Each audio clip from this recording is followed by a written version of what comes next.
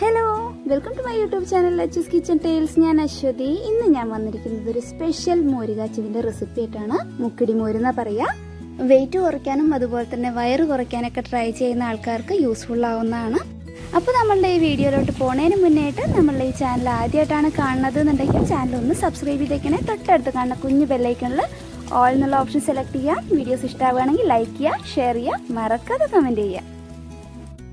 ഞാൻ പറഞ്ഞിട്ടുണ്ടായിരുന്നു ഇതൊരു സ്പെഷ്യൽ ആയിട്ടുള്ള ഒരു മോര് കാച്ചിയതാണ്. മുക്കിടി മോര് എന്നാണ് ഇതിന് പറയുക അപ്പോൾ ഇതിലേക്ക് മെയിനായിട്ട് വേണ്ട ഇൻഗ്രീഡിയന്റ് ആണ് തുമ്പച്ചെടി.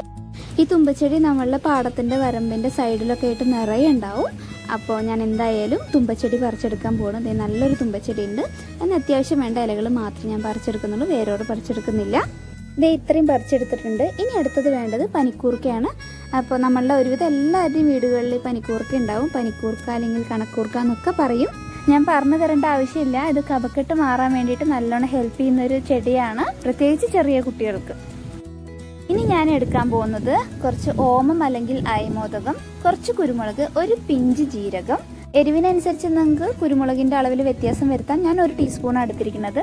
ഈ അടുത്തത് ഞാൻ എടുക്കുന്നത് തെങ്ങിന്റെ പൂക്കുലയാണ്. അപ്പോൾ തെങ്ങ് വെട്ടിയ സമയത്ത് എനിക്ക് അധികം മൂപ്പില്ലാത്ത ഒരു പൂക്കുല കിട്ടിയിട്ടുണ്ടായിരുന്നു. അപ്പോൾ ഞാൻ അതിന് പൂക്കുലയിൽ നിന്ന് ഒരു പിടി പൂക്കുല എടുത്തിട്ടുണ്ട്. ഏകദേശം ഒരു ഒന്നര ടേബിൾ സ്പൂൺ മുതൽ രണ്ട് ടേബിൾ സ്പൂൺ വരെ ഞാൻ എടുത്തിട്ടുണ്ട്. അധികം മൂക്കാത്തതാണ്. അപ്പം ഞാനത് പറിച്ച് വെച്ചിട്ട് ഫ്രിഡ്ജിൽ വെച്ചതുകൊണ്ട് ചെറുതായിട്ടൊരു കളർ ഫീഡ് ആയിട്ടുണ്ട്. നമുക്കിതൊന്ന് അരച്ചെടുക്കേണ്ടതായിട്ടുണ്ട്. അപ്പോൾ ഇത് അവിടെ ഇരിക്കട്ടെ. ഇനി അതിലേക്ക് കുറച്ച് സാധനങ്ങളോട് ആവശ്യമുണ്ട്. ഞാനിവിടെ ഒരു എട്ട് വെളുത്തുള്ളി എടുത്തിട്ടുണ്ട്. രണ്ട് കഷ്ണം ചുക്ക് എടുത്തിട്ടുണ്ട്. ഒരു കഷ്ണം മഞ്ഞൾ എടുത്തിട്ടുണ്ട്.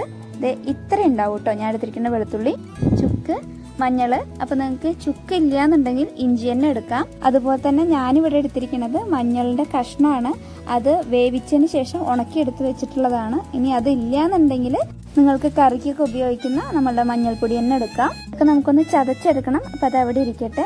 ആദ്യം നമുക്ക് നമ്മൾ എടുത്തു വെച്ചിട്ടുണ്ടായിരുന്ന അയമോദകം കുരുമുളക് ജീരകം അതുപോലെ തന്നെ പൂക്കലെ നമുക്ക് അമ്മിക്കല്ലിൽ ഇട്ടിട്ട് തന്നെ അരച്ചെടുക്കാം.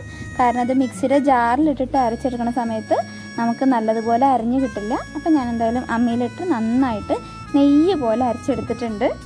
അത് സൈഡിലേക്ക് മാറ്റി വെക്കാം. ഇനി നമ്മൾ നേരത്തെ പറിച്ചു കൊണ്ടുവന്നിട്ടുണ്ടായിരുന്ന പനിക്കൂർക്കയുടെ ഇലയും അതുപോലെ തന്നെ തുമ്പയുടെ ഇലയൊക്കെ നല്ലതുപോലെ കഴുകിയതിന് ശേഷം നമുക്ക് ഇതിന്റെയൊക്കെ നീര് ഇടിച്ച് പിഴിഞ്ഞെടുക്കേണ്ട ആവശ്യമുണ്ട്. അപ്പോൾ ഞാൻ എന്തായാലും ആദ്യം തന്നെ നമ്മൾ എടുത്തു വെച്ചിട്ടുണ്ടായിരുന്ന പനിക്കൂർക്കയുടെ ഇല ഇടിക്കുന്ന കല്ലിലിട്ടിട്ട് നന്നായിട്ട് ഇടിച്ചെടുക്കുകയാണ്.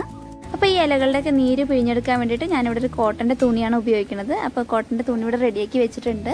ഇതിലേക്ക് നമ്മൾ നേരത്തെ ഇടിച്ച് വെച്ചിട്ടുണ്ടായിരുന്ന പനിക്കൂർക്ക് ഇട്ട് കൊടുക്കുകയാണ്.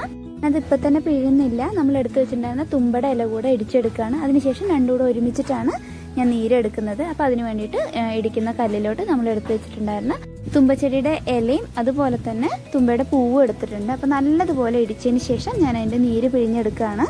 അപ്പോൾ അതിന്റെ നീര് മുഴുവനായിട്ടും പിഴിഞ്ഞെടുക്കാൻ വേണ്ടിയിട്ട് ഞാനൊരു പാത്രത്തിൽ ഇതേതുപോലെ കുറച്ച് വെള്ളം എടുത്തിട്ട് ആ കിഴി അതിലൊന്ന് മുക്കിയതിന് ശേഷം ഒന്ന് രണ്ട് തവണ ഇതുപോലെ ഒന്ന് പിഴിഞ്ഞെടുക്കുകയാണ്. അപ്പം നമ്മുടെ തുമ്പച്ചാറും അതുപോലെ തന്നെ പനിക്കൂർക്കയുടെ ചാറും ദേ ഇവിടെ റെഡി ആയിരിക്കുകയാണ്. നല്ലതുപോലെ പിഴിഞ്ഞെടുത്തിട്ടുണ്ട്. അപ്പം അത് നമുക്ക് ഒരു സൈഡിലേക്ക് മാറ്റി വയ്ക്കാം അപ്പം നമ്മളുടെ മോര് കാച്ചാൻ ആവശ്യമായിട്ടുള്ള എല്ലാ സാധനങ്ങളും ദേ ഇവിടെ റെഡി ആയിട്ടുണ്ട്. അപ്പം നമുക്ക് ആവശ്യമായിട്ടുള്ള സാധനങ്ങൾ എന്തൊക്കെയാണെന്ന് ഞാൻ ഒരിക്കൽ കൂടെ പറഞ്ഞുതരാം. അര ലിറ്റർ പുളിയുള്ള മോരാണ് എടുത്തിരിക്കുന്നത്. തൈരല്ല.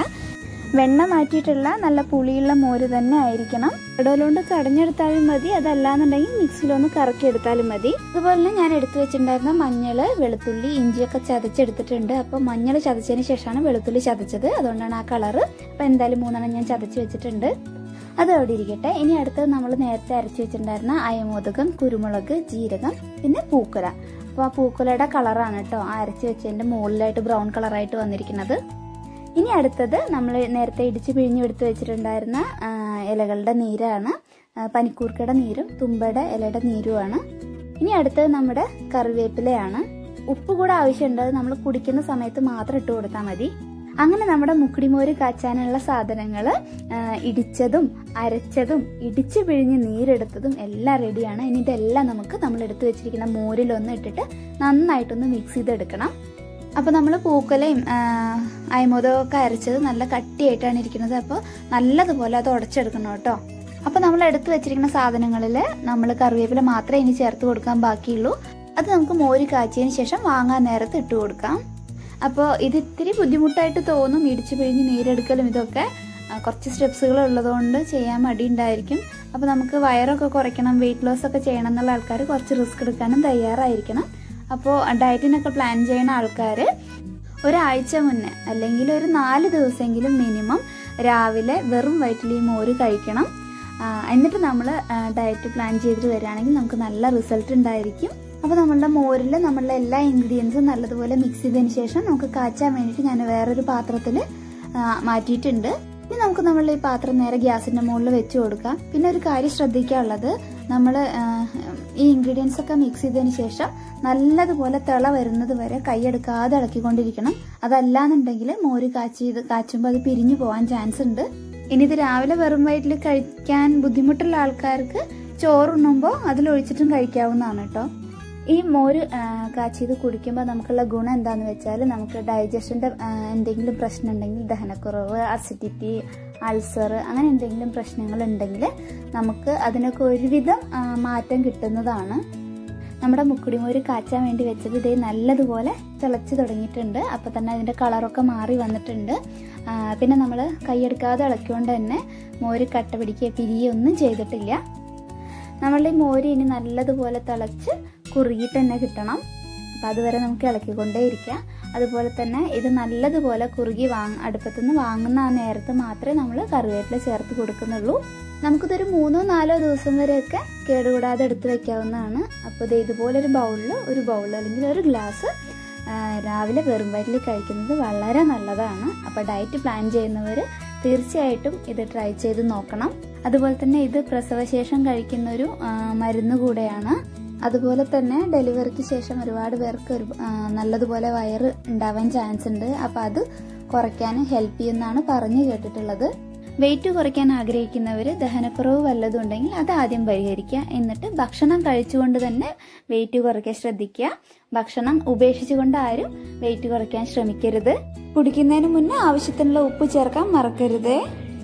ഈ മോര് കാച്ചി ഇത് ഉണ്ടാക്കാൻ പൂക്കല കിട്ടിയില്ല എന്ന് പറഞ്ഞിട്ട് ആരും ഉണ്ടാക്കാതിരിക്കരുത്. നമ്മളുടെ ഈ അച്ചിങ്ങ അല്ലെങ്കിൽ മച്ചിങ്ങ ഉണ്ടല്ലോ അതിന്റെ ഈ വെളുത്ത പോർഷൻ ഉണ്ടല്ലോ ഈ പോർഷൻ അരച്ച് ചേർത്താലും മതി. അപ്പൊ ഇത് തീർച്ചയായിട്ടും നിങ്ങൾക്ക് എല്ലാവർക്കും യൂസ്ഫുൾ ആവുന്ന ഒരു വീഡിയോ ആണെന്ന് വിശ്വസിക്കുന്നു. അതുപോലെ തന്നെ വീഡിയോ ഇഷ്ടമായിട്ടുണ്ടാവുമെന്ന് വിശ്വസിക്കുന്നു. അപ്പോൾ വീഡിയോ ഇഷ്ടമായിട്ടുണ്ടെങ്കിൽ വീഡിയോസ് ലൈക്ക് ചെയ്യുക ഷെയർ ചെയ്യുക ചാനൽ സബ്സ്ക്രൈബ് ചെയ്യാൻ മറന്നിട്ടുണ്ടെങ്കിൽ സബ്സ്ക്രൈബ് ചെയ്യുക മറക്കാതെ കമന്റ് ചെയ്യുക. അപ്പൊ അടുത്ത വീഡിയോ ആയിട്ട് വരാം. Bye bye